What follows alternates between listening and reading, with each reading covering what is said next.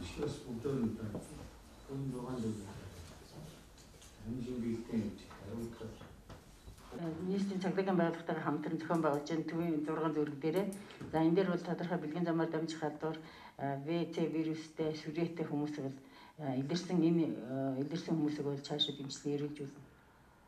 Тэр нь цаашид наад хүмүүсийг эрүүл мэндэд анхаарч дахиад эмчилгээ онцлоготой холбоотой асуудлуудын тогтмол шийдвэрлэж явах энэ ажил дээр бас сулруулж болох зохион байгуулалтаа олон сайжруулах хэрэгтэй.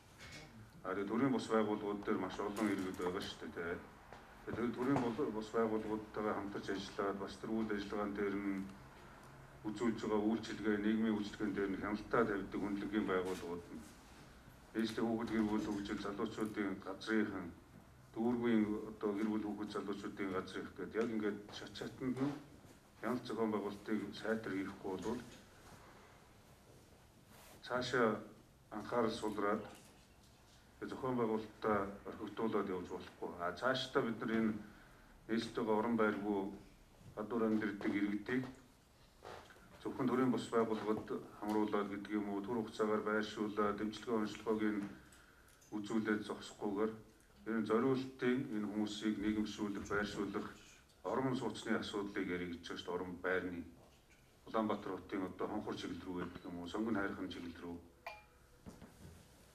тэнд бүр зориултын байр орон сууцтай тэнд нь сургалтанд хамруулдаг за хөдөлмөр эрхлэх боломжийг хангадаг өшөө өөрөө өөрсдөө энэ тэнмэл орон гэргүй ажиллаж амьдардаг амьдралын хэмнэлээс гарах тал дээр нь нийгэмшүүлэх тал дээр нь бүр зориултын тийм байр орон сууцаар хангах ажлыг зохион байгуулна гэж ингэж төлөвлөж байна.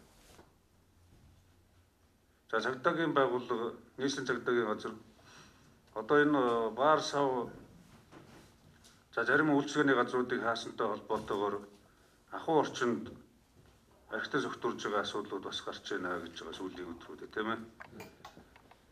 Гэр бүлийн одоо орчинд архитектж байгаа, бөөнөр цуглаж байгаа гэр бүл айл өрхийн ахуйн гэмт хэргийг сэдэлт гаралтыг нэмэгдүүлэх юм болцсохгүй эрсдлүүд бий болох бас өрчсөн сэргийлэх ажлаа өшөө сайн хийх хэрэгтэй байна. А сүүлийн 2 3 өдрийн хугацаанд бол одоо угаарын хийхээс төрүүлээд архины хордлогод орсон дуудлага ихссэн байна. Өчигдөр өөрөө ихл одоо хичнээн дуудлага ирсэн байлаа. Архины хордлогоос одоо үүдсэн дуудлагуудын тоо нэмэгдэж байгаа. Тэр энэ олон нийтийн мэдээ мэдээллийн хэрэгслэр гэр орондоо архитан согтуурахгүй байх, айл өрхийн ая тухтай байдлыг алдагдуулахгүй байх Тэр соногдуулах сэрэмжлүүлгээ маш сайн өгөх хэрэгтэй хэвлэл мэдээллийн байгууллага. А тэгээд цагдаагийн байгууллага тэр урьдчилан сэргийлэх ажлуудаа бас зөв зохион байгуулах. Ахуйн гэмт хэрэг гэр бүлийн хүчирхийлэл гэдэг зүйлүүдийн тоо гаралт шийдэлт энэ хугацаанд гарахгүй байх, нэмэгдэхгүй байх. Ямар нэгэн байдлаар иргэний яамнаас эрүүл мэнд айл гэрийн эрх ашиг хөгжихгүй байх тал дээр нь бас дүүрэг хороодох өөрсдийн бүтэц зохион байгуулалтаараа сайтар хяналттай хэрэгтэй. Иргэдээс бас мэдээлэл авах хэрэгтэй. Хаана эргэтэн зөвтөрөлт явагдаж байна, хаана бөөнөр цуглаж байна. Хаана болцсохгүй эрсдэл бий болох гээд байна. Хаана зодон зохиолд янзын болох гээд байна гэдэг Энэ асуудлууд дээр бас анхаарах хэрэгтэй. 10-ны өдрөөс эхэлж орон нутаг Улаанбаатар хотын хөдөлгөөнийг хязгаарласантай холбоотойгоор 16-ны буюу маргааш өглөө хөдөлгөөнийг нээнэ. За энэ дээр 2 3 асуудал яригдана.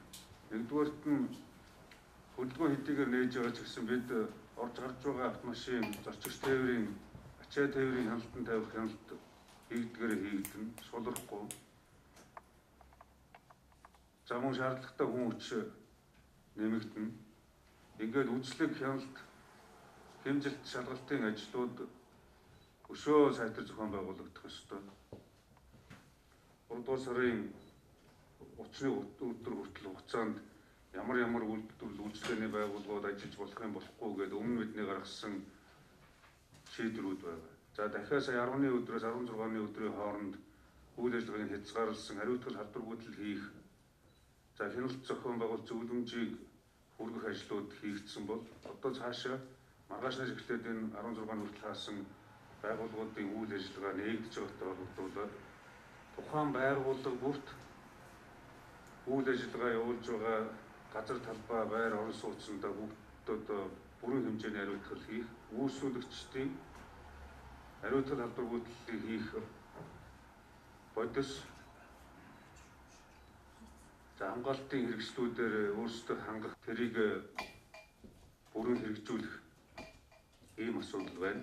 Хүнсний үйлдвэр хүнсний худалдаа бараа үйлчилгээний захууд бол ямар нэгэн байдлаар хязгаарлалтанд орохгүйгээр цаашаа ажиллаа үргэлжлүүлээд явна.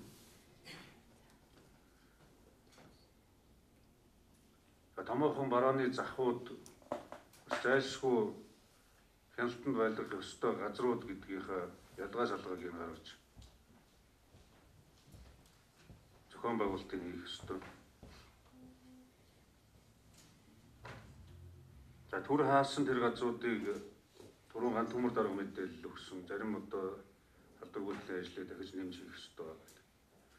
За энэ өдрүүдэд ингээд дулаан цагаагаарын температур бол үндсэндээ бас нэмэх рүү орж байгаа дулаарч байна. Тэгэхээр бодомж талбай хариуцлагын ажил хаана хаана хийх тэр төлөвлөгөөгөө гаргасан яг тэрнийхээ дагуу хийх ажлаа цаг алгүй хийн.